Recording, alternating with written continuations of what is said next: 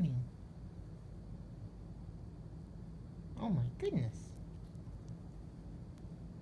What a sleepyhead. Good morning.